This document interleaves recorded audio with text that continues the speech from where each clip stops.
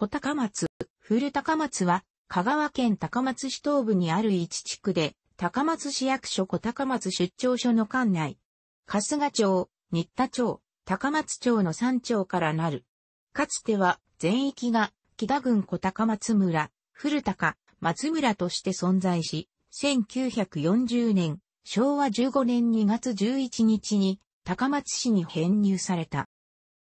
隣接する八島地区の方元駅周辺地区を中心として八島地区と一体化し、8つある高松都市圏の地域拠点の一つを形成する。地区は高松市北東部に位置し、八島、八島地区の内陸に位置する。人口は2010年時点で21,188人、男11,144人、女11,044人で、世帯数は8,859世帯である。面積は 12.83km と、昭和期に高松市と合併した地区としては広い面積を持つ。人口密度は1平方キロメートルあたり1668.9人。高松市中心部とは独立した拠点性のある市街地を有するが、都市としては高松市中心部と連続したベッドタウンとしての性格がある。この地区の住民は他の高松市内の住民に対して便宜的に自らの出身を八島と名乗ることがある。それは地理的に八島地区と近く生活圏を共有しているなどの親和性からや八島の知名度のが全国的に圧倒的に高い上に JR 八島駅が地区内にあるため位置が想像しやすいなどの理由がある。それは八島地区に近ければ近いほど顕著であり、特に高松町を中心によく見られるが、いずれも正確には小高松地区の一部であり、八島地区ではない。全域が高松平野の一部であるが、地区の南東側には標高280.1メートルの前田山、そこから北東に向かって100メートルから200メートル級の山が連続しており、高松平野はここで終了する。また、香川県道272号高松市土線によって、それらの山を越え、群れ地区を経由することにより、交通量の多い国道11号を迂回して、佐抜市、シド地区へ抜けることができる。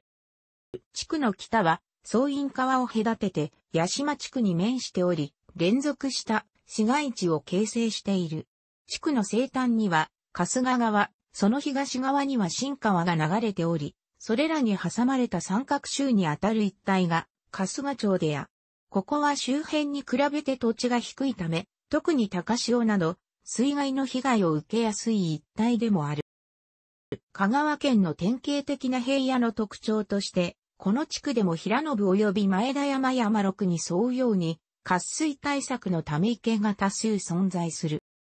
高松市のシンボルである八島は南北に細長く、日常的に高松市民は山の上が平たい屋根のような形を見慣れている。しかし、八島のふもとである八島地区やお膝元であるこの小高松地区からは細長い八島の断面を見るような構図になるため、平べったいとか細長い印象はほとんどない。また、地区から見える八島の南端は頂上付近の崖がむき出しになっており、地区民が日常的に見る八島の景観は大多数の高松市民のそれとは大きく異なっている。春日町、新田町、高松町。この地区は古くから港町として開けた地域であり、地区名は現在に至る市名、高松の起こりである。高松市編入以降は JR 八島駅を中心として高松市中心部への交通の便に恵まれていたため、地区内で住宅地や工場の造成が始まり、戦後にかけて高松市東部のベッドタウンとして人口が急増した。高松市編入以前は小高松村を参照、高松町北部に商店、住宅が密集した市街地を形成しており、東部の山沿いの高台には住宅地が開発されている。新田町と春日町のいずれも北部は農業地帯の中に郊外型小売店の他新興住宅地が立地している。高松市の平均と比較して第一次産業、マイナス1.0%及び第三次産業従事者、マイナス1.5%の割合が低く、第二次産業従事者、プラス2.5%の割合が高くなっている。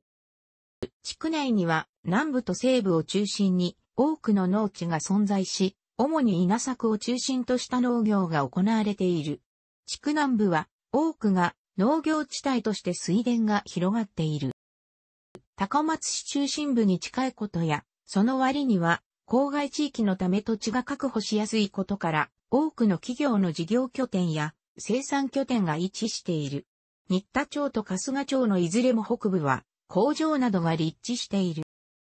一体化した八島地区とともに高松都市圏拠点市街地の一つであるため、高松市及び香川県を拠点とする企業の事業所が多く置かれているが、知名度の高さからその多くは、八島支店や八島営業所など、島を名乗っていることが多い。主な企業、地区民の消費行動は、隣の八島地区にあるパワーシティ八島を核に、高松町など地区北部では、丸中八島店、南部では、新田店にそれぞれ流れている。いずれも、丸中系であり、丸中が多くのシェアを握っている。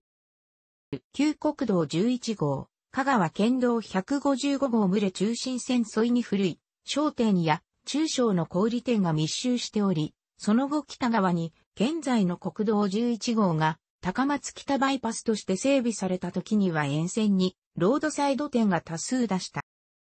その後春日町に佐木東、街道、香川県道10号高松町美大内線バイパス、開通した以後はその沿線に郊外型の量販店などが多く出店している。主な商業施設、主な企業、地区内の小学校は小高松小学校と小高松南小学校が存在し、2校で地区内全域をカバーしている。かつては小高松小学校1校のみであったが、人口増加に伴い新設された小高松南小学校へ校区の位置が分割され、小高松小学校の校区は南部の住宅団地を除く高松町のみとなった。その他、小高松南小学校区には、地区内以外にも、前田地区内の夕日が丘団地も含まれている。中学校は、地区内の小学校2校がそのまま、小高松中学校1校に合流しているため、1校で地区内全域をカバーしている。現在の小高松中学校は2代目で、初代小高松中学校は1954年に、八島地区内に、あ八島中学校に統合され、1984年に再分離された。高等学校は現在はないが、1971年までは、香川県立木田高等学校、現、香川県立高松東高等学校の小高松分校があった。地区内に存在する高松大学、高松短期大学、高松東幼稚園はいずれも学校法人四国高松学園の運営するグループ校で全校とも春日町の春日川のほとりに位置している。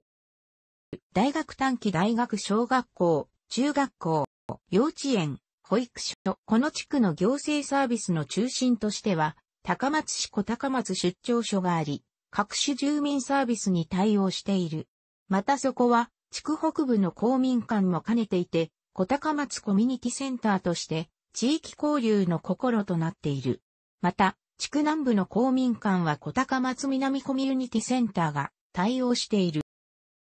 超別50音順、公共交通機関はバスと鉄道2線、JR、琴電が利用可能で、ベッドタウンとして高松市郊外の地区の中では恵まれた環境にある。ただし、それは高松町北部の市街地周辺のみであり、春日町や新田町など南部では公共交通機関が脆弱で、加えて高台の住宅地は自動車の所有を前提としているため、自家用車での移動が中心となる。高松市中心部に向かうには、地区中心部の場合は、公共交通機関の利用のほか、それ以外の地域でも自転車による通勤、通学も可能な距離である。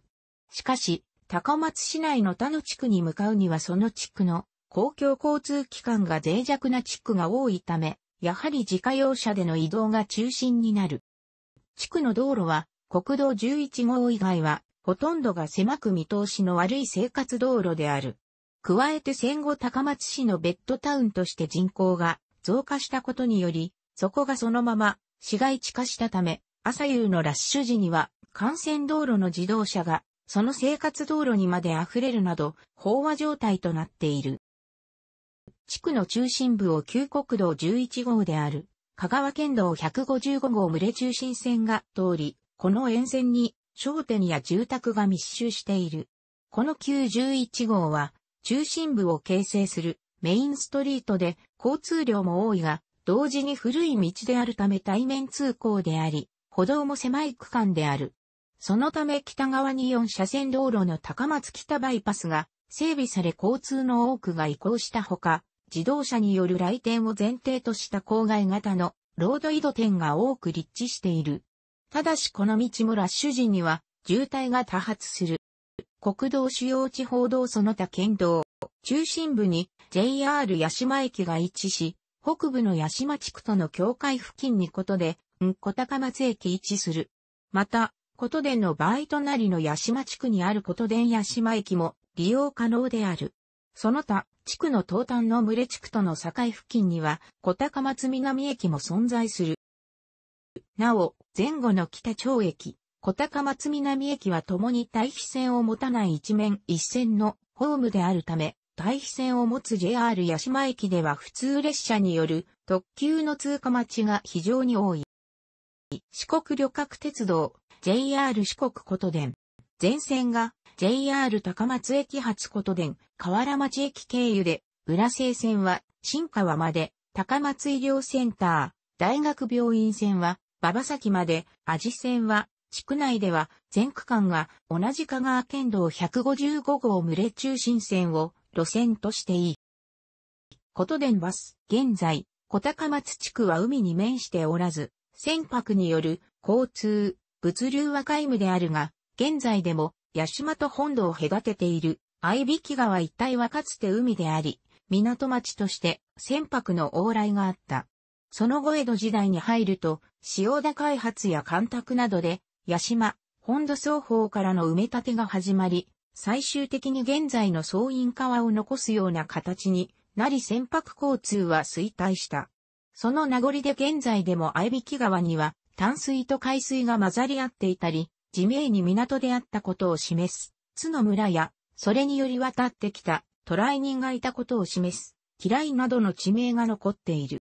テレビ放送の場合は、地区内の前田山に大規模送信所、高松局があるため基本的にそこを受信する。しかし、アナログ放送において、高台の住宅地では前田山直下であるため電波が強すぎて、良好な信が困難であり、前田山とは反対側の水戸吉にある西佐抜中継局を受信する世帯が多い。西佐抜局までは高松平野と丸亀平野を越えて非常に距離があるが、高台での受信であるため障害物が少なく、視聴可能な電解強度が得られる。その他何らかの理由で高松局が受信できない場合や、古い建物の場合は海を越えた岡山局を受信する。いずれにしてもデジタル放送では、ある一定の受信レベルさえ確保すれば、ゴースト障害やちらつきは起こらないため、強電海域用のアンテナを用いるなどして、高松局の受信が可能である。